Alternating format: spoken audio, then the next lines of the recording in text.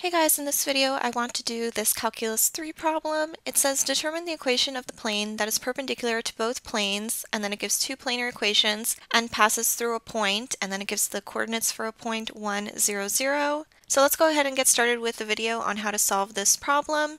The solution to this problem is an equation of a plane. So basically what we need to do is we need to know what the equation of a plane is and how to fill in all the missing variables for this equation. So the equation of a plane has two parts. It's going to have a point that the plane passes through, which I'm going to call P0, and that has coordinates x0, y0, and z0. And it's going to have what's called a normal vector, which I'm going to denote as the vector n. And this is, by definition, a vector that is perpendicular to the plane. And I'm going to write that as coordinates a, b, c. So a normal vector is a vector that is perpendicular to a plane. So if this is the plane equation that we want to find, the normal vector is going to be a vector that comes out perpendicularly from the plane. And with these two pieces of information, we can write out the equation of the plane in scalar form as follows.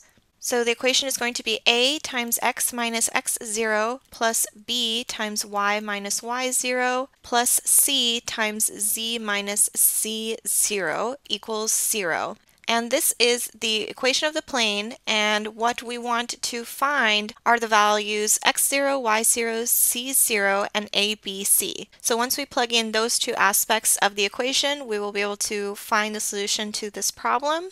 In the problem, we're given that x0, y0, and z0 are 1, 0, 0. So we know that the point coordinate p of 0 is 1, 0, 0. So all we have left to find are the coordinates a, b, c, which come from the normal vector. And we're given that we need to find a plane that is perpendicular to two planes, which we are given the equations for. So to find the normal vector, we're just going to find a vector that is perpendicular to these two planes. So to find the normal vector n, I'm going to take the cross product of the coordinates of these two planes, and the cross product will give me a perpendicular vector. So the coordinates for the first planar equation are 1, 2, 3, and the coordinates for the second planar equation are 3, negative 1, 5. So I'm going to write that as the normal vector is equal to the cross product of n1 by n2, and that is equal to finding the determinant of a 3 by 3 matrix where we write out the coordinates from the two planar equations. So the first row is going to be ijk,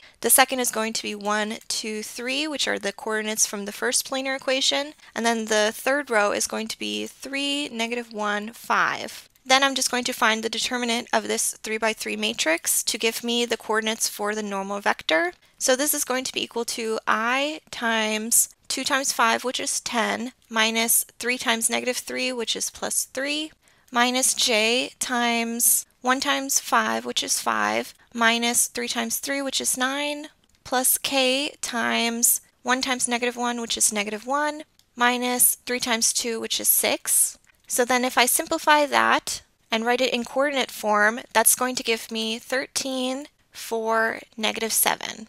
So the normal vector that we want to plug in is going to be 13, 4, negative 7. And now we know the point and the normal vector to plug into the planar equation, and we have enough information to solve the problem. So our final solution is going to be 13 times x minus 1 plus 4 times y minus 0 minus 7 times z minus 0 is equal to 0.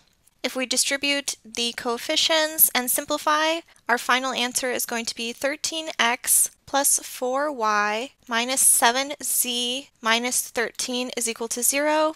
And this is our final answer for the planar equation, and we're done with this problem.